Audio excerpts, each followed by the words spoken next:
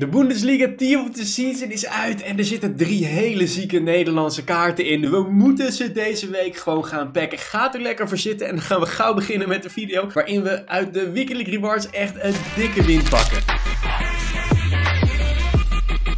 We gaan hier beginnen met meer dan 50 player picks, maar daarvoor twee dingetjes. Ten eerste, laat even een like achter op de video, want bij 600 likes komt er morgen weer een gloednieuwe video voor jullie uit. Zolang jullie liken, upload ik elke dag. Dus wil je morgen een nieuwe video zien, dan weet je wat je te doen staat. En, heb je nog niet geabonneerd? Doe het ook zeker weten, want we gaan richting de 90.000 abonnees. En dat is mijn droom, jongens. Die 100.000 halen moet toch een keertje gaan gebeuren. En daarnaast is er gisteren een video online gekomen op 4 mei die totaal anders was dan de gamevideo's die ik normaal maak. Heb je die nou nog niet gezien? Check hem na deze video zeker weten even. Het gaat over de kinderen die in 1943 en 1944 verbleven in kamp Vught. Hele mooie video, zeker het kijken waard. Maar eerst hebben we playerpicks te openen. Dat gaan we lekker doen. Voordat jullie gaan zien wat ik allemaal pack in deze playerpicks, wat jullie namelijk allemaal wel willen zien denk ik, gaan we eerst even kijken naar mijn Weekend League Rewards. Ja jongens, tijd dus voor mijn Weekend League Rewards. Rank 5 zoals je kunt zien. Ik heb 11 wins gepakt en ik ben gewoon gekapt. Ik dacht ik heb helemaal geen zin. Zoals je kunt zien kunnen we nog niet meer red picks doen, want we hebben eerst nog player picks staan. Nou, die heb ik allemaal geopend, maar ik moet zeggen, gisteravond waren de servers niet soepel. Ik denk dat ik op zijn minst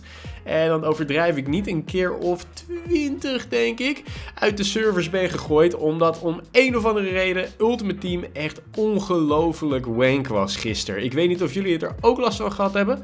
Maar het was echt niet te doen. Volgens mij gaan jullie zo zien dat ik voor het eerst uitgegooid word. En daarna is het echt... We weten wel nog een Team of the Season te packen uit deze player picks. De Bundesliga, Vrooms. Het is van het vrouwenteam. Nou, geen hele bijzondere kaart, maar ik vind het leuk dat we er hebben. En de rest van de avond zag er ongeveer zo uit. Een FC 24 laat-icoontje en uit de servers gekikt worden. Het was vreselijk. Dus het waren misschien wel de stroeste 50 player picks die ik ooit heb geopend. Maar tussendoor pakken we wel nog wat walkouts mee. En dat is hartstikke lekker, want we zijn op een missie deze week dus voor Frimpong, voor Malen en voor Xavi Simons. Uit de playpicks krijgen we ook nog een 87 brons, wat heel erg lekker is. En een 87 Martinez. En niet heel veel later krijgen we ook nog een 87 rated. Oh wacht, de servers doen het weer niet. En toen was het tijd voor onze red picks. De eerste twee weken geen geluk gehad. En nu krijgen we Sancho in onze eerste player pick. En in onze tweede jongens, onze eerste Nederlander, Malen. En weet je wat? Ik ga er niet om klagen. Hij kan eventueel nog in een evolutie. Dit vind ik gewoon hartstikke leuk. maar laten we eerlijk zijn, niet heel erg bijzonder. Dan hebben we ons gegarandeerde 85 plus keer 2 pack verhandelbaar voor het halen van 11 wins. Hier hoop je gewoon een tots in te zien, zodat je even kan cashen. Dan weet je, oké, ondanks dat mijn red picks niet zo goed waren, speelde ik niet voor niks. Daar gaan we jongens, kom op, geef me even een totskaart. Ik heb coins nodig, ik speelde voor niks. Alles Papillon niet vreselijk. Dan hebben we nog een tradable 50k pakketje, dankzij het spelen, dankzij het behalen van die 11 wins. En hier zit gewoon een hero in jongens. En het is nou, tegenwoordig niet meer zo bijzonder. Als je dit in het begin van de game doet, dan heb je heel veel coins te pakken. Maar nu is het ongeveer 22.000 coins waard. En ik zei het in de intro al, er komt een zieke kaart aan. In de Ultimate Pack krijgen we een tots. Het is tots Moments, Frans, left mid. Dit kan maar één iemand zijn. En dat is Kingsley Coman. En dit is verhandelbaar. Dit kunnen we verkopen. Hoe ongelooflijk lekker is het. Hij is 5 star, 5 star. Het is een hele goede kaart. Maar ik heb zo'n gevoel dat ik hem deze week nog wel ga packen. Dus verkoop ik hem zo snel mogelijk. Ik list hem voor 650.000 coins. Daarvoor verkoopt hij. Nou, hij is nu, op het moment dat ik het opneem, nog maar 560.000. En de servers werkten weer niet mee. Helemaal top dus. De rode player picks. Nou, we hebben de eerste van de drie Nederlanders te pakken. Dus dat is al heel erg mooi. Maar ik had gehoopt op een iets betere speler. Sancho was niet slecht, maar ik had hem al blauw gepakt. Dus daar hadden we vrij weinig aan. Het gaat echt goed met de Team of the Season van de Bundesliga. Ik zou nu al kunnen zeggen dat het bijna een, een groter succes was dan uh, Premier League. In alle eerlijkheid. Dit is natuurlijk in de Premier League hoe het gegaan is. We hebben Keur gepakt en Hemp. En nu had Bisek een rode kaart, dus ik had Hinkapia er even in gezet. Maar als we heel even naar de squad gaan kijken van de Bundesliga, dan zul je zien wat we tot nu toe gepakt hebben. Een rode manen dus. We hebben Adeyemi, die heb ik al twee keer gepakt. Sancho dus rood en blauw. In KPA hadden we al Tapsoba één keer, Ta twee keer en Kobel drie keer. En daarnaast ook nog deze twee vrouwen. Dus het gaat echt lekker met de Bundesliga tots. Er zijn een paar kaarten die ik echt heel graag wil. En ik weet niet of die op de markt staat of dat die extinct is. Het lijkt erop dat die extinct is op de markt. Maar Goretzka heeft een hele zieke kaart. Die wil ik heel graag packen. En hetzelfde geldt voor Alfonso Davies. Een 94 rated leftback kaart. Het is echt misschien wel... Het is echt een monster. Dit is echt, echt een monster. Die wil ik heel graag packen. Die zou Roberto Carlos ook direct team uitvissen. Zonder problemen. Is een kaart van meer dan 1.5 5 miljoen, ongeveer 1,6 miljoen. Nou, dat zou natuurlijk hartstikke ziek zijn om te pakken. Uh, daarnaast Simons, uiteraard. Frimpong, de Nederlanders, die wil ik heel erg graag. Ik had gehoopt dat we Xavi Simons zouden krijgen uit onze Red Picks. Want dan hadden we hem nog kunnen upgraden in een evolutie. Maar dat kan helaas niet. Hij is 300.000 coins ongeveer. 4 star, 4 star. Voor het vaderland moet ik deze gewoon hebben. Ik denk dat jullie dat wel snappen. Dus die wil ik heel graag pakken. En uiteraard Frimpong, jongens. Uh, misschien wel de beste speler van het team. 97 rated. En helemaal terecht als je het mij vraagt. Een dikke upgrade ten opzichte van zijn Team of the Year. Is meer dan 5 miljoen. Um, ja, wil ik gewoon echt heel graag pakken. Dus dat is waar we naar op zoek gaan deze week. Dat is waarvoor we keihard gaan grinden. Er zijn 86 keer 2 start, die gaan we zo doen. Maar eerst hebben we dus iets meer dan 50, ik denk ongeveer 60 player picks om te doen. En we gaan gewoon hopen dat hier lekker veel fodder in zit, zodat we weer exchanges kunnen doen. En een Team of the Season kaart of twee. Dat zou helemaal perfect zijn. Irene is ook helemaal goed. Ik zit alweer bijna op 900.000 coins. Als ik alles op mijn transferlist verkoop, zitten we er ruim overheen. Dus we hebben weer bijna een miljoen. Dus het zou kunnen zijn dat ik de, de drie Bundesliga tot spec in de store van 750k deze week nog wel haal. Laat me in de comments even weten, jongens, of ik dat moet doen. Gesproken over de comments, is weer tijd voor de comment van de dag. Elke video heb ik één comment die je kiest die een spotlight krijgt in de video. Gewoon als bedankje voor alles wat jullie voor mij doen. Ik kan dit niet doen zonder jullie, dus dank jullie wel. Wil je nou in de video van morgen zitten? Dan weet je wat je te doen staat. Laat me even weten welke Bundesliga tots je het allerliefste wil. Terwijl de playerpicks tot nu toe eigenlijk nog niet heel sterk geweest zijn. Uh, met uitzondering van Irene en één keer Bastoni waren ze echter heel erg slecht. Dus ik hoop dat daar nog verandering in komt. Ik denk dat ik de 84 is die ik dubbel krijg even ga pakken. Want die hebben we misschien nog wel nodig voor die 86 keer 2's. Volgens mij kun je ze drie keer per dag doen. Je hebt er 6 85 rated voor nodig. Geen Team of the Weeks deze keer. Dus dat is wel heel erg fijn voor de mensen die geen Team of the Weeks hebben. Nou, ik heb die zelf wel, dus voor mij boeit het vrij weinig. Het is leuk dat het even niet nodig is. Misschien kan er nog wel andere upgrades waarbij het dan weer wel nodig is. Dat kan natuurlijk heel erg goed. Maar voor nu is het fijn om te zien dat we ook zonder Team of the Weeks gewoon lekker upgrade packs kunnen grinden. En het wordt nu toch wel echt tijd om ook iets leuks te pakken. Want het gaat traag met de player picks. Ze zijn niet goed. Ik ben blij dat ik al mijn spelers onder de 82 rating heb ingeleverd. Want zoals je ziet, het enige wat we krijgen is uh, 82 ratingjes. Soms duurt het even voordat de packluck gaat rollen, maar dan komt er toch in één keer een zieke speler uit. Dat kan gewoon. We hebben in ieder geval wat 85 is gekregen. Dat is al heel erg goed, want die hebben we best wel hard nodig.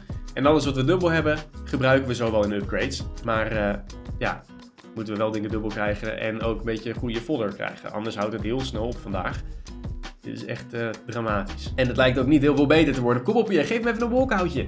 Waar zijn ze? Naast Irene, come on, dan is het weer die Cucho Hernandez. Als het goed is, komen vanavond eindelijk nieuwe spelers in packs. Dus dan komt Ronaldo als het goed is in packs. Dan komt Balotelli in packs. En er komen er nog veel meer.